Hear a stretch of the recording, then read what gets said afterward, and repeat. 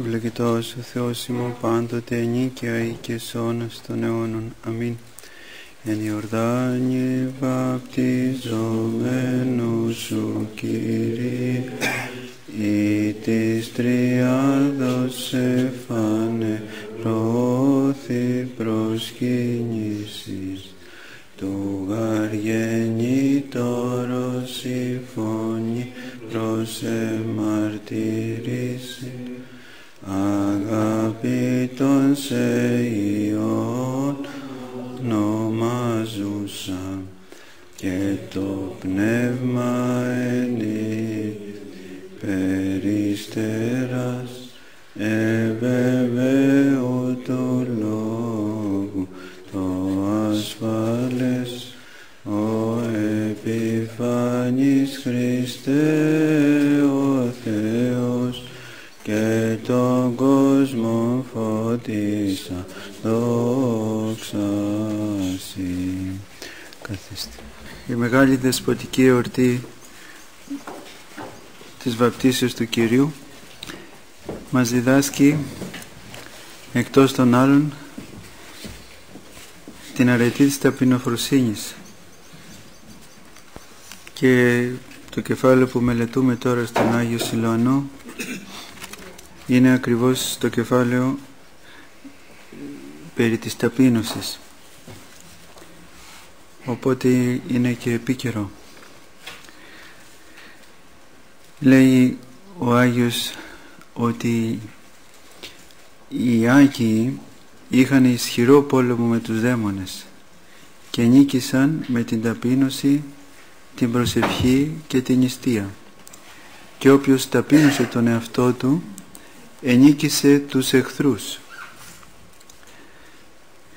και οπωσδήποτε όταν κανείς νικήσει τους εχθρούς του τότε έχει ειρήνη μέσα του. Τι πρέπει να, έχουμε, να κάνουμε για να έχουμε ειρήνη στην ψυχή και το σώμα ρωτάει ο Άγιος. Και απαντά πρέπει να αγαπάς όλους τους ανθρώπους όπως τον εαυτό σου και να είσαι κάθε ώρα έτοιμος για τον θάνατο όταν η ψυχή θυμάται τον θάνατο ταπεινώνεται και παραδίνεται ολόκληρη στο θέλημα του Θεού και επιθυμεί να έχει ειρήνη με όλους και να τους αγαπά όλους.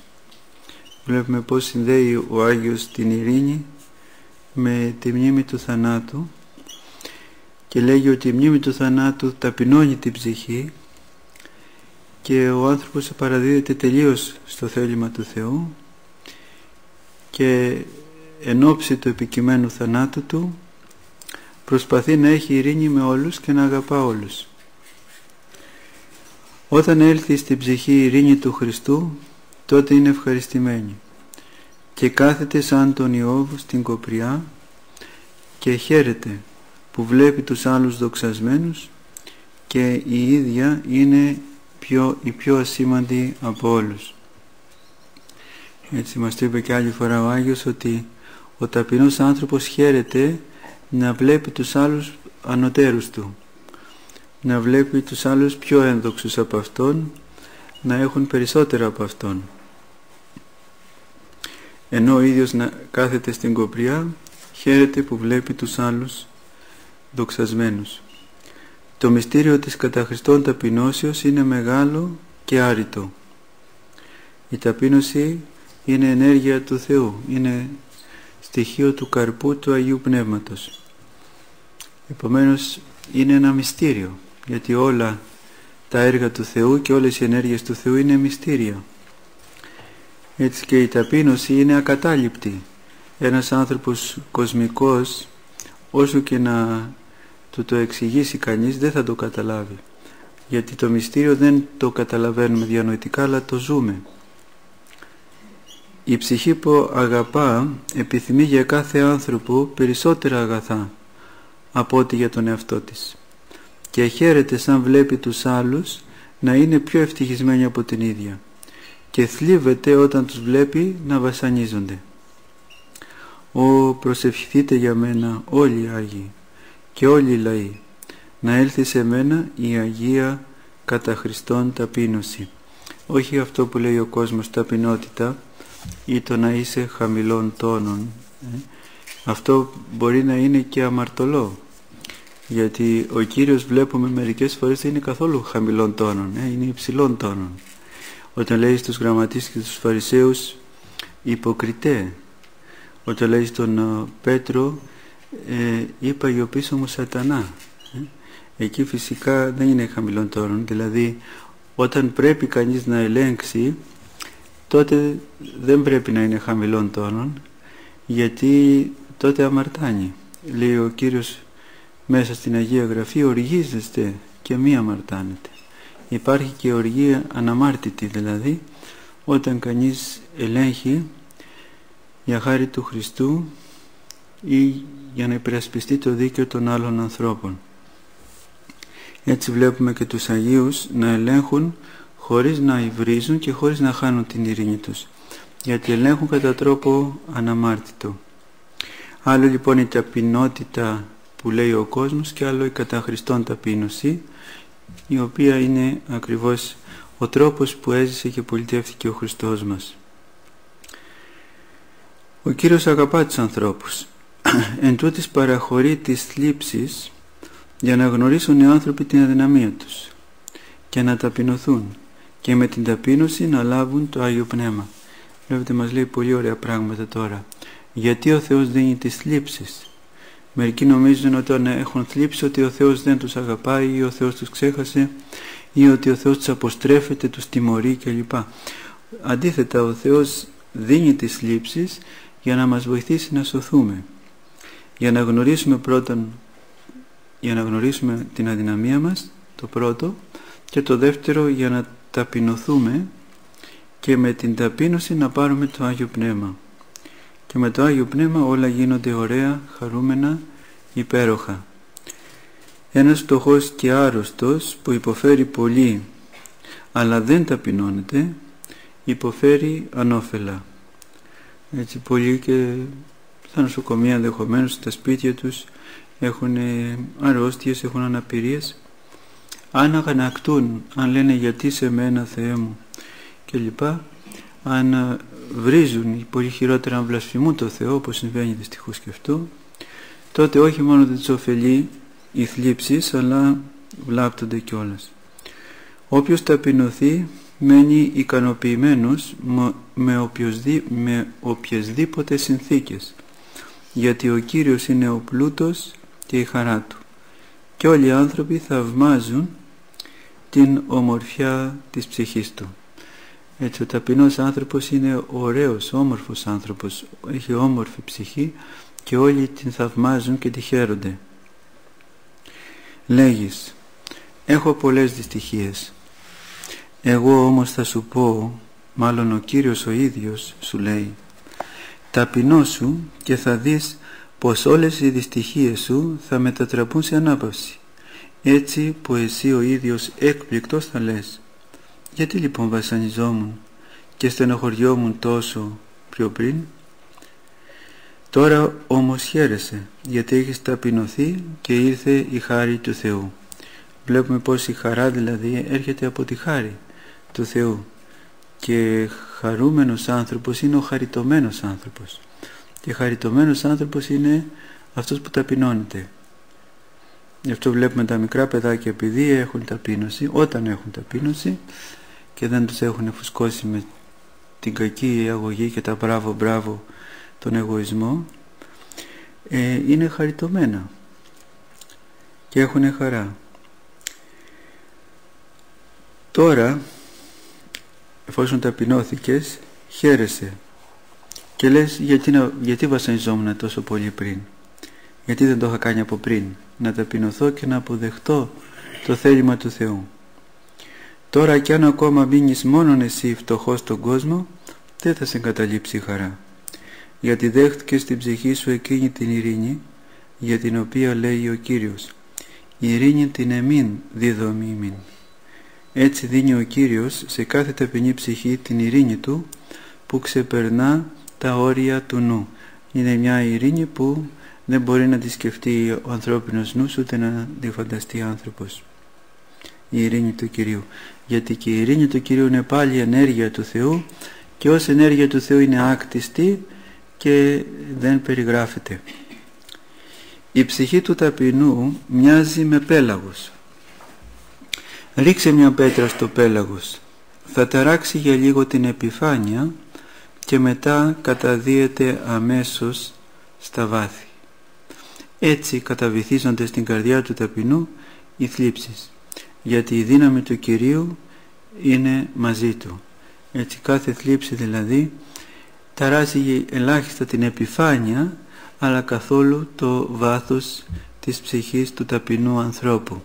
Γι' αυτό έτσι πολύ όμορφα λέγεται ότι μοιάζει η ψυχή του ταπεινού με τα βάθη των ωκεανών που είναι αδιατάραχτα και ασάλευτα.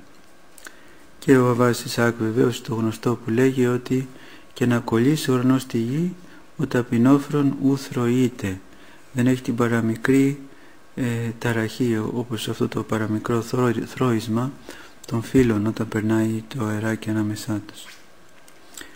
Πού είναι η κατοικία σου ταπεινή ψυχή και ποιος κατοικεί μέσα σου και με τι να σε παρομοιάσω και με λαμπρότητα σαν τον ήλιο και δεν κατακαίγεσαι αλλά θερμαίνεις όλους με τη φλόγα σου έτσι όπως η, βλα... η βάτος η φλεγωμένη και μη κατακαιωμένη που είναι η παρουσία δηλαδή του Θεού έτσι είναι και η ταπείνωση καίει αλλά δεν κατακαίει αλλά μόνο θερμένη και φωτίζει σε σένα ανήκει η γη των πράων κατά τους λόγους του Κυρίου.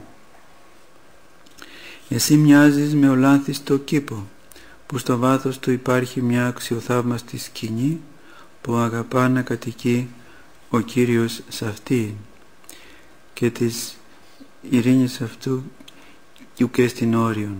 Δεν υπάρχει όριο και το, η κατοικία του Θεού είναι εν ειρήνη και όταν αρχίζουμε τη Θεία Λειτουργία μπαίνουμε στη Βασιλεία του Θεού η πρώτη λέξη που λέει ωραίας είναι εν ειρήνη το Κυρίου δεηθόμεν τότε η προσευχή μας είναι βάρεστη στο Θεό όταν γίνεται με ειρήνη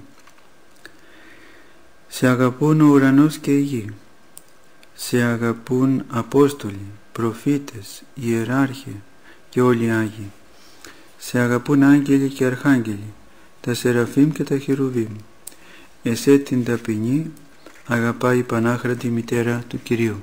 Ο πιο ταπεινός άνθρωπος της γης ε, είναι η Παναγία.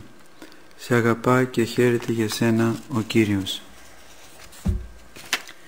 Είναι πολύ έτσι χαριτωμένο ένα συμβάν, ένα θαύμα, θαυμαστό γεγονός που συνέβη σε έναν Άγιο ε, είχε τη μεγάλη τιμή να δει το Χριστό ως βρέφος την ε, αγκάλια της Περαγίας Θεοτόκου και ζήτησε ως χάρη από το βρέφος.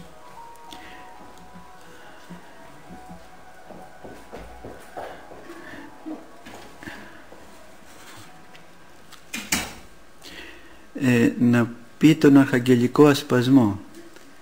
Το χέρι και χαριτωμένη Μαρία ο Κύριος Μετασού και το βρέφος με πολύ απλότητα, ο Χριστός μας δηλαδή, άρχισε να το λέει. «Χαίρε και χαριτωμένη Μαρία, ο Κύριος μετά σου, ευλογημένη σε έγινε εξή» και σταμάτησε εκεί για να δείξει πόσο ταπεινός είναι ο Θεός. Γιατί αν έλεγε και τη συνέχεια θα μακάριζε τον εαυτό του και δεν ήθελε. Έτσι ο Κύριος δεν εμφανίζεται στην υπερήφανη ψυχή γιατί είναι άκρος ταπεινός. Η υπερήφανη ψυχή ακόμα και αν μελετήσει όλα τα βιβλία ποτέ δεν θα γνωρίσει τον Κύριο. Γιατί με την υπεροψία της δεν αφήνει μέσα της χώρο για τη χάρη του Αγίου Πνεύματος. Και ο Κύριος γνωρίζεται μόνο με το Άγιο Πνεύμα. Έτσι, ο υπερήφανος έχει κατηλημένη την ψυχή του όλον τον χώρο τον ψυχικό με τον εαυτό του με τη φιλαυτία του με την υπεροψία του. Και δεν υπάρχει χώρος για τη χάρη του Αγίου Πνεύματος. Οπότε αυτός ο άνθρωπος ο υπερήφανος δεν μπορεί να γνωρίσει το Θεό γιατί δεν υπάρχει χώρος να τον δεχτεί. Οι άνθρωποι που φωτίστηκαν με το βάπτισμα πιστεύουν στο Θεό Υπάρχουν όμως και ορισμένοι που τον γνωρίζουν. Είναι μέγα καλό να πιστεύεις στο Θεό, αλλά το να γνωρίζεις τον Θεό είναι μακαριότερο. Και όσοι πιστεύουν είναι μακάριοι, όπως είπε ο Κύριος στο Θωμά, ότι εσύ με είδες και με ψηλάφισες και πιστεύεις, αλλά μακάριοι και εκείνοι που δεν είδαν και όμως πιστεύουν. Αν είμαστε ταπεινοί, ο Κύριος από αγάπη θα μας απεκάλυπτε όλα τα μυστήρια. Αλλά η συμφορά μας είναι πως δεν είμαστε ταπεινοί. Υπερηφανευόμαστε και είμαστε ματαιόδοξοι για κάθε τι το ασήμαντο και έτσι βασανίζουμε τον εαυτό μας και τους άλλους. Και ο Κύριος δεν μπορεί να μας αποκαλύψει αυτά που θέλει να μας αποκαλύψει. Γιατί βλέπετε αν μας αποκαλύψει έστω και το παραμικρό αμέσως εμείς θα αποκτήσουμε έπαρση. Παρόλο που ο Κύριος είναι σπλαχνικός, παραχωρεί όμως να πεινάει η ψυχή εξαιτίας της υπερηφάνειας, να στερείται τη χάρη μέχρι ότου μάθει την ταπείνωση. Εγώ κατέβαινα ως το βάθος της απώλειας για τις αμαρτίες μου και θα βρισκόμουν προπολού στον Άδη αν δεν με σπλαχνιζόταν ο Κύριος και η Πανάχραντη αγαθή Θεοτόκος. Έτσι ο Κύριος δεν θέλει να βασανιζόμαστε αλλά από την άλλη βεβαίως θέλει και να προοδεύσουμε και να γίνουμε δεκτικοί Του να τον δεχθούμε έτσι ώστε να σωθούμε. Γι' αυτό στερεί έτσι εξαιτίας της υπερηφάνειας της δικής μας στερεί τη χάρη Του από μας μέχρι να μάθουμε να ταπεινοφρονούμε και τότε μας τη δίνει πλούσια. Ο η ήρεμη και πράη φωνή της υπεραγίας Θεοτόκου. Φωνή ουράνια, τέτοια φωνή δεν θα ακούσουμε ποτέ στη γη. Και να τώρα γράφω με δάκρυα για τον ελεήμονα Κύριο ως για αληθινό Πατέρα. Γλυκής είναι στην ψυχή ο Κύριος. Ο Αδάμ γευόταν αυτή τη μακαριότητα στον Παράδεισο όπως έβλεπε καθαρά τον Κύριο. Και η ψυχή μας αισθάνεται πως Αυτός είναι μαζί μας σύμφωνα με την Επαγγελία Του. Ιδού εγώ με θυμώνυμη πας τας ημέρας έως της συντελείας του αιώνος. Ο Κύριος μας έχει υποσχεθεί ότι θα είναι πάντοτε μαζί μας. Και βλέπετε πως λέει ο Άγιος για την φωνή της Περαγίας Θεοτόκου που είναι γλυκητάτη. Προφανώς την είχε ακούσει, την είχε ζήσει την Παναγία μας και τον ίδιο τον Κύριο ο ίδιος ο Κύριος μας έχει υποσχεθεί ότι θα είναι πάντοτε μαζί μας και μυστικά στην καρδιά μας όταν την καθαρίσουμε αλλά και στην Αγία Εκκλησία με την συνεχή παρουσία Του δια των μυστηρίων και κατεξοχήν δια της Θείας Λειτουργίας.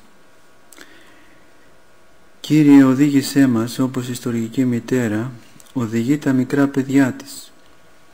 Δώσε σε κάθε ψυχή να γνωρίσει τη χαρά του ερχομού σου και τη δύναμη της βοήθειάς σου. Δρώσε τις κουρασμένες ψυχές του λαού σου και δίδαξέ μας όλους να σε γνωρίσουμε με το Άγιο Πνεύμα. Πιέζεται από τη θλίψη στη γη η ψυχή του ανθρώπου. Κύριε, και δεν μπορεί ο νους του να προσιλωθεί σε σένα, γιατί δεν ξέρει ούτε εσένα ούτε την αγαθότητά σου. Ο νους μας εσκοτίστηκε από τις βιωτικές μέρημνες και δεν μπορούμε να κατανοήσουμε το πλάτος της αγάπης σου. Φώτισέ μας. Όλα είναι δυνατά για την εσπλαχνία σου. Εσύ είπες στο Άγιο Ευαγγελιό σου. Οι νεκροί ακούσονται της φωνής του Υιού του Θεού και οι ακούσαντες ζήσονται. Κάνε και τώρα να ακούσουν οι νεκρές ψυχές μας τη φωνή σου και να ζήσουν χαρούμενες. Πες Κύριε στον κόσμο, αφέονται εις όλους σε αμαρτία και θα συγχωρεθούν. Αγίασέ μας Κύριε και όλοι θα αγιαστούν από το Πνεύμα Σου και θα σε δοξάζουν όλοι οι λαοί Σου πάνω στη γη και θα γίνεται το θέλημά Σου όπως στον ουρανό έτσι και στη γη γιατί για Σένα πάντα δυνατά εστί. Βλέπετε μια πολύ συγκλονιστική προσευχή που κάνει ο Άγιος και κατά κάποιο τρόπο πιέζει τον Θεό να συγχωρήσει όλους τους ανθρώπους. Όχι ότι ο Θεός δεν θέλει. Ο Θεός βεβαίως και αυτό, αυτό είναι το θέλημα του Θεού. Αλλά δεν εξαρτάται μόνο από τον Θεό. Ε. Πρέπει να υπάρχει και η ανθρώπινη συνεργία. Να θέλει και ο άνθρωπος δηλαδή να συγχωρεθεί. Γι' αυτό είπε ο Κύριος ότι υπάρχει μια αμαρτία που δεν συγχωρείται ποτέ. Η βλασιμία κατά του Αγίου Πνεύματος. Και τι είναι αυτή η βλασιμία κατά του Αγίου Πνεύματος; Είναι η αμετανοησία όταν ο άνθρωπος δεν ζητάει το έλεος του Θεού τη συγχώρεση. Ο υπερήφανος φοβάται τις επιπλήξεις ενώ ο ταπεινός διόλου. Προσέξτε τώρα έτσι πολύ πρακτικό είναι αυτό που μας λέει ο Άγιος. Φοβάσαι μήπως σου κάνουν παρατήρηση, μη σε επιπλήξουν. Έχεις υπερηφάνεια. Ο ταπεινός δεν φοβάται διόλου να του κάνουν επίπληξη. Όποιος απόκτησε την κατά Χριστό ταπείνωση πάντα επιθυμεί να κατηγορεί τον εαυτό του, όχι τους άλλους όπως συνήθως γίνεται στον κόσμο ε, αλλά να κατηγορεί τον εαυτό του πάντα.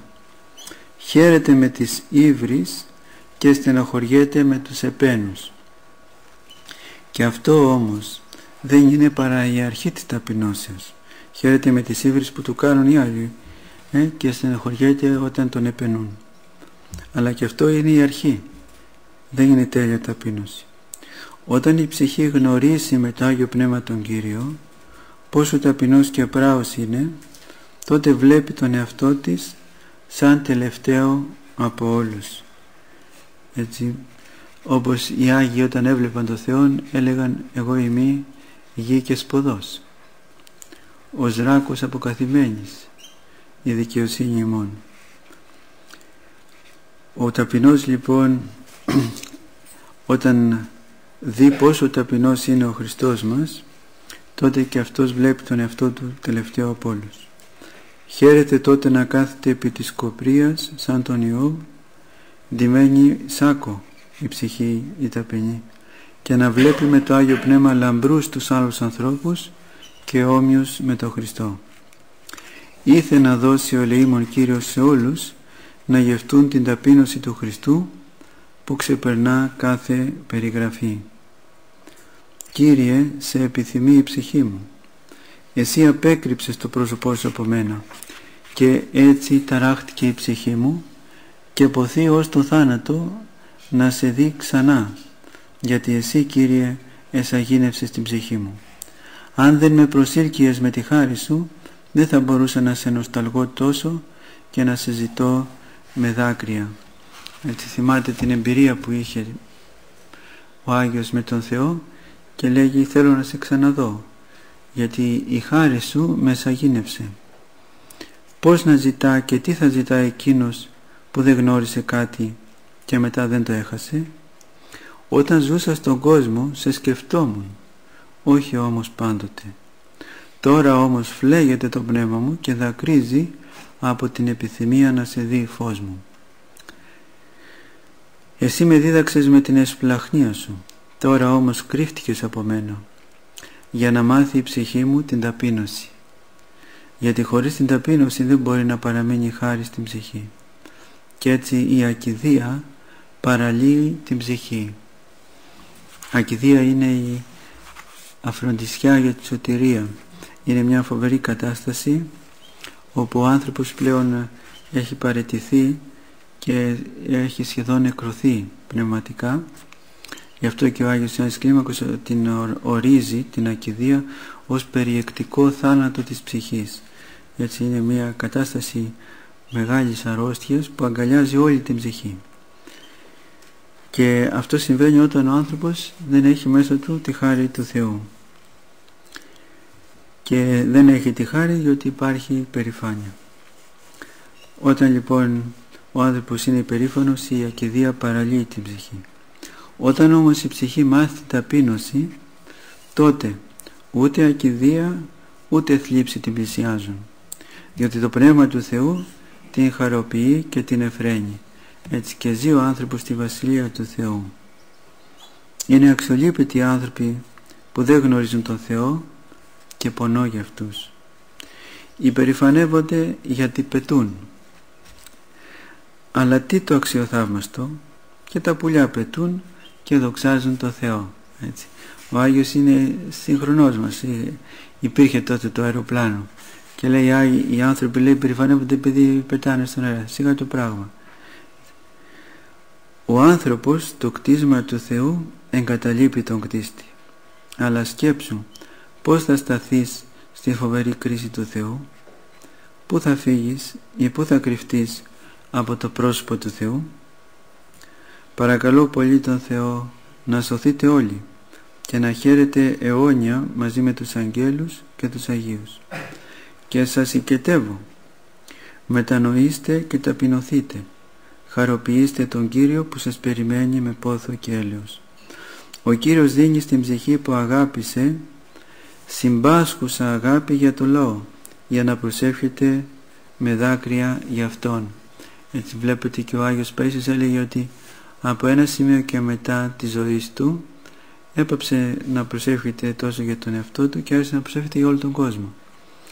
Ο Θεός δίνει αυτό το δώρο στους ταπεινούς να προσεύχονται και να συμπάσχουν για το λαό. Δόξα στον Κύριο και στην εσπλαχνία Του, στον Κύριο που εμφανίζεται σε εμάς τους αμαρτωλούς δούλους Του με το Άγιο Πνεύμα. Και η ψυχή του ξέρει καλύτερα η ψυχή τον ξέρει καλύτερα από τον σαρκικό πατέρα. Έτσι η πνευματική συγγένεια είναι πολύ ανώτερη από την σαρκική συγγένεια. Όταν κανείς γνωρίσει τον Θεό τότε καταλαβαίνει ότι αυτός είναι ο αληθινός πατέρας του και τον γνωρίζει πολύ καλύτερα από τον σαρκικό πατέρα. Γιατί τον πατέρα τον βλέπουμε έξω από εμάς. Ενώ το Άγιο Πνεύμα διαπερνά όλη την ψυχή και το νου και το σώμα. Και όπου είναι το Άγιο Πνεύμα είναι και ο Πατέρας είναι και ο Υιός. Μακάρια η ταπεινή ψυχή την αγαπά ο Κύριος τους ταπεινούς Αγίους τους μακαρίζουν ο ουρανός και η γη. Και ο Κύριος τους δίνει τη δόξα να είναι μαζί Του. Όπου εγώ είμαι εκεί και ο διάκονος ο εμός έστε. Και δεν μπορεί να είναι κανείς διάκονος του Χριστού αν είναι υπερήφανος. Γιατί δεν μοιάζει στον Κύριο. Ο διάκονος πρέπει να μοιάζει με τον δεσπότη με τον Κύριό του αν λοιπόν δεν είσαι ταπεινός δεν μπορείς να γίνεις διάκονος του Κυρίου και δεν μπορείς να είσαι στον τόπο που είναι και ο Κύριος. Ανώτερη από όλους την ταπείνωση είναι η Παναγία Μητέρα του Θεού. Και γι' αυτό την μακαρίζουν όλες οι γενιές της γης και την υπηρετούν όλες οι δυνάμεις των ουρανών. Και αυτή τη μητέρα του μας έδωσε ο Κύριος για συμπαράσταση και βοήθεια. Βλέπετε αυτός που είναι ταπεινός τον υπηρετούν τα σύμπαντα ενώ αυτός που είναι υπερήφανος όσο ψηλά και αν στέκεται στην εξουσία την κοσμική δεν έχει όμως αυτή την αληθινή θα λέγαμε υπακοή. Έχει μια υπακοή μια υποταγή μάλλον που την επιβάλλει ο ίδιος με τα όπλα και την ισχύ.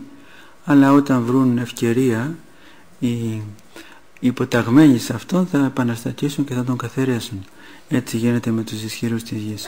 Ενώ ο ταπεινός δεν καθαρείται από κανέναν αλλά υπο, ε, τον υπο, υπηρετούν όλοι γιατί έχει τη χάρη του Θεού. Δεν υπάρχει τίποτε ανώτερο από το να ζει κανείς με ταπείνωση και αγάπη. Τότε επικρατεί στην ψυχή μεγάλη ειρήνη και δεν δείχνει αλαζονία έναντι του αδελφού. Αν αγαπούμε τους εχθρούς, τότε δεν υπάρχει στην ψυχή τόπος για υπερηφάνεια, γιατί η υπεροψία είναι ξένη και αλότρια προς την κατά αγάπη. Έτσι βλέπετε πώς συμπλέκονται όλες οι αρετές, η κατά αγάπη, η κατά ταπείνωση και η χάρη του Θεού ε, πάνε μαζί. Δεν μπορεί κανείς να έχει περηφάνεια και να έχει και αγάπη κατά Χριστόν. Ούτε να έχει ε, παρηγοριά από τον Θεό ο υπερήφανος. Η ταπείνωση κατά Χριστόν είναι γλυκιά και δεν περιγράφεται. Και αν το ήξεραν αυτό οι άνθρωποι, τότε όλοι οι οικουμένοι θα σπούδαζε αυτή την επιστήμη. Ε. Θα σκεφτείτε να είχαμε ένα πανεπιστήμιο που να σπουδάζαμε την ταπείνωση. Πολύ αναγκαίο πράγμα. Ε.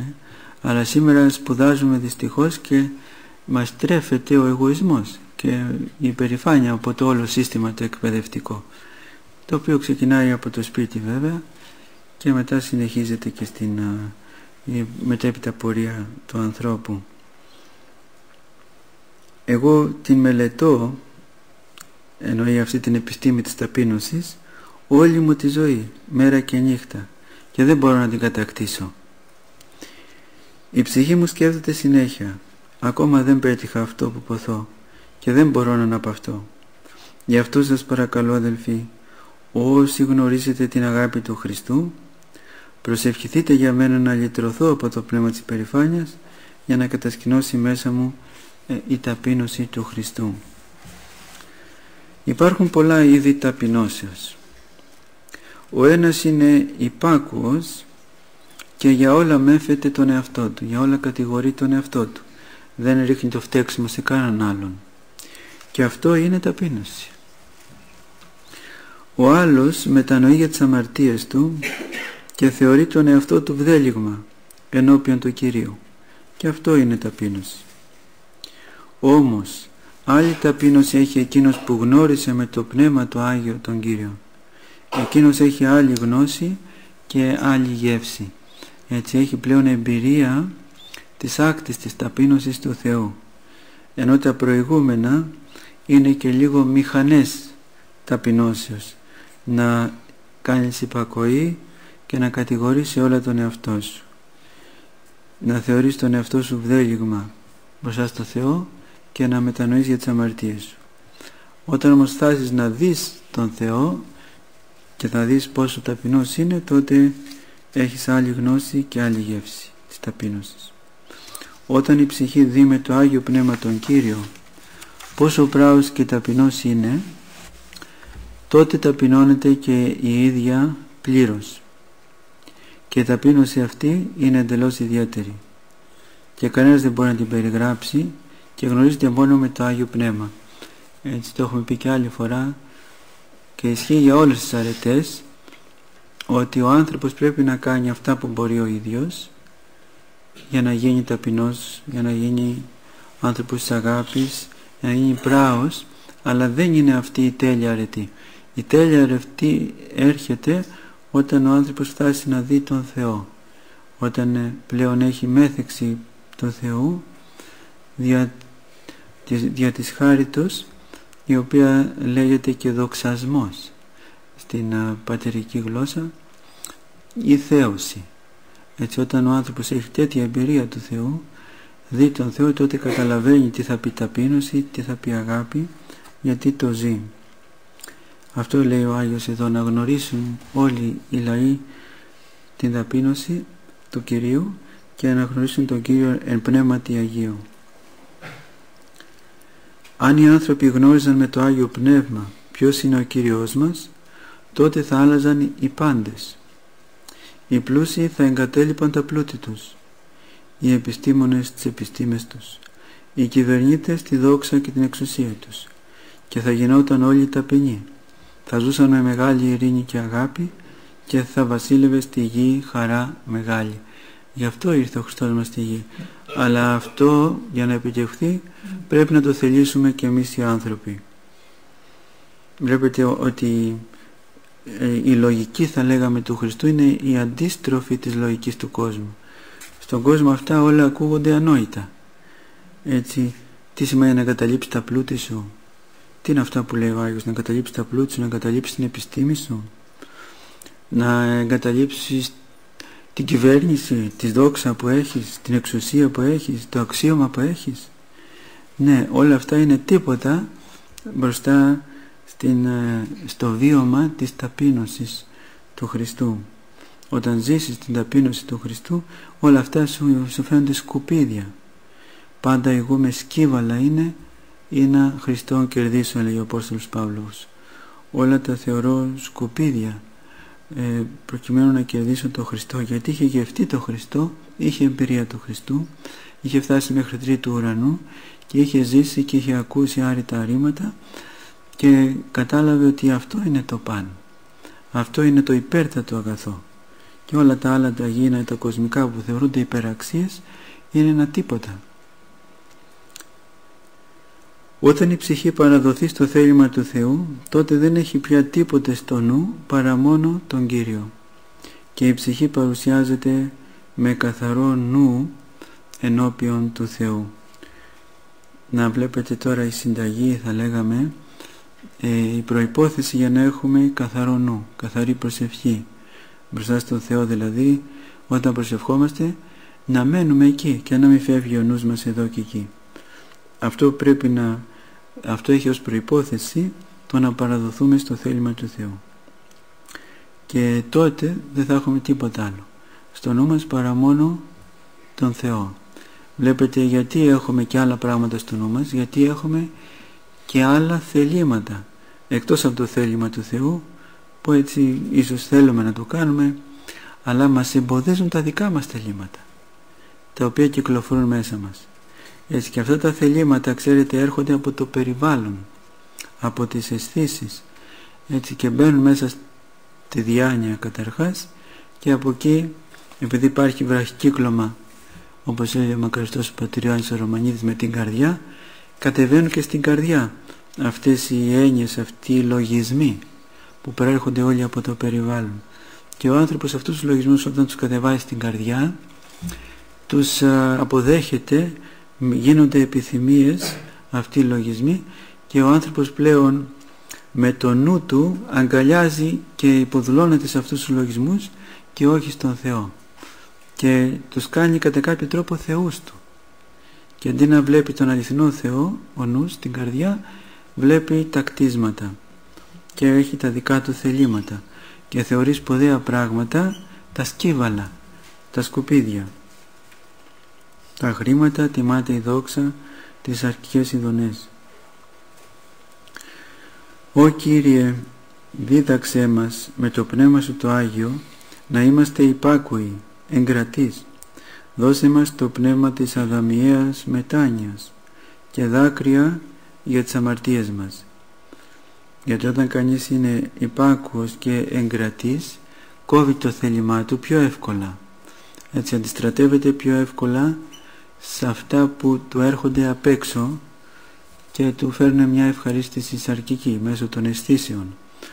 Έτσι η εγκράτεια στερεί τον άνθρωπο από αυτές τις αισθητικές, αισθησιακές θα λέγαμε απολαύσεις και αυτό τον βοηθάει ώστε να απελευθερωθεί ο νους από την δουλεία σε αυτές τις απολαύσεις έτσι ώστε να ξεδιπλωθεί και να πάει στον Θεό. Γι' αυτό ζητάει ο Άγιος εγκράτεια ζητάει υπακοή ώστε να μην έχει δικό του θέλημα να μην θέλει τίποτε από αυτά τα μάτια που του εντός εισαγωγικών λανσάρει έτσι και ε, προσφέρει ε, η διάνοια και οι αισθήσεις. Δώσε μας το πνεύμα της αδαμιαίας μετάνοιας και δάκρυα για τις αμαρτίες μας. Δώσε να σε ευχαριστούμε και να σε δοξάζουμε αιώνια. Εσύ μας έδωσες το τίμιο σώμα και το αίμα σου για να ζούμε αιώνια μαζί σου και να είμαστε εκεί όπου μένεις εσύ και να βλέπουμε τη δόξα σου. Κύριε δώσε να σε γνωρίσουν όλοι οι λαοί της γης δώσε να γνωρίσουν όλοι οι λαοί της γης πόσο μας αγαπάς και ποια θαυμαστή ζωή χαρίζεις σε όσους πιστεύουν σε σένα. βλέπετε ο Άγιος και με αυτό κλείνουμε πόσο ποθεί να μοιραστεί χωρίς να χάσει κάτι ο ίδιος α, αυτή τη ζωή που ζει ο ίδιος έτσι γιατί χάρη του Θεού μερίζεται αμερίστος όπως όταν ανάβεις ένα κερί με κάποιο άλλο κερί η φλόγα από το πρώτο κερί δεν μειώνεται αλλά με, παίρνει φωτιά και το δεύτερο κερί χωρίς να χάνει τίποτε το πρώτο έτσι δηλαδή και ο άνθρωπος του Θεού ποθεί όλοι οι άνθρωποι να ζήσουν αυτό που ζει ο ίδιος. Και ο ίδιος δεν χάνει τίποτε, αλλά αυτή η χάρη ε, μερίζεται αμερίστως, εν μεριστής όπως λένε οι πατέρες, στους όλους τους ανθρώπους που θέλουν και είναι ταπεινοί. Σε αυτά είχαμε να πούμε για σήμερα και ολοκληρώσαμε και το κεφάλαιο περί ταπεινώσεως. Θέλετε κάτι μήπως πάνω σε αυτά να συζητήσουμε να πούμε; Υπάρχει κάτι; Όχι. Λοιπόν, να ευχαριστήσουμε τον Κύριο και να τον παρακαλούμε να είμαστε ταπεινοί πάντοτε. Δόξα Πατρί και Υιό και για Πνεύματι και νύχια και αή και σε όνας των αιώνων. Αμήν. Εν Ιορδάνη βαπτιζόμενος ότι της τριάδος εφανερό προσκύνησης το γαργενήτωρο συμφωνεί σε μαρτυρήσει αγαπητόν σε Υιόν ζούσαν και το πνεύμα εν είδη περιστεράς ευεβαίου του λόγου. Το ασφάλες ο επιφανής Χριστέ ο Θεός και τον κόσμο φώτισα δόξαση. Διευχών των Αγίων Πατέρων ημών Κύριε Σου Χριστέ ο Θεός ημών, ελέησον και σώσον ημάς. Αμήν. Χρόνια πολλά ο Θεός μαζί μας.